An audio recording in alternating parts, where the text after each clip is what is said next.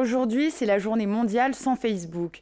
Mais les 33 millions de Français présents sur la plateforme ont-ils réellement besoin d'une journée pour s'en détacher? C'est la question que l'on a posée à ces étudiants de l'Université de Lille.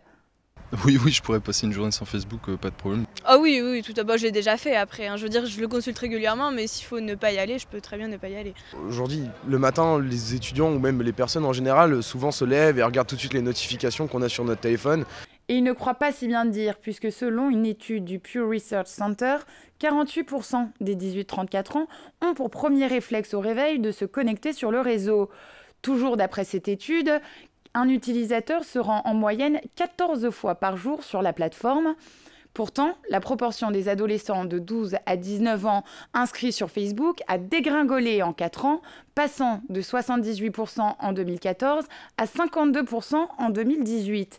Mais alors, on en vient à se poser la question, Facebook est-il devenu ringard? C'est vrai que ça n'a pas beaucoup changé depuis plusieurs années.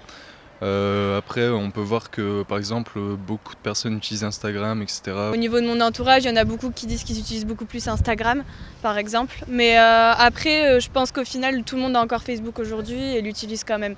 Certaines personnes le disent que Facebook, il faut arrêter de l'utiliser, que c'est ringard.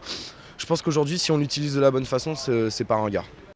Diffusion de fake news, contenu violent, raciste ou homophobe, Facebook a depuis quelques années essuyé de nombreux scandales. De quoi ralentir la consommation des plus jeunes sur la plateforme. Euh, Il y a des limites bah, euh, de ce qu'on a pu voir avec les derniers scandales euh, vis-à-vis euh, de, euh, de toutes les données qu'ils récupèrent euh, sur leurs utilisateurs et de ce qu'ils en font aussi. euh. Parfois, il peut y avoir des contenus euh, bah, parfois racistes, euh, antisémites et qui, moi, me posent un réel problème. Désormais, l'âge moyen des utilisateurs de Facebook est de 40 ans.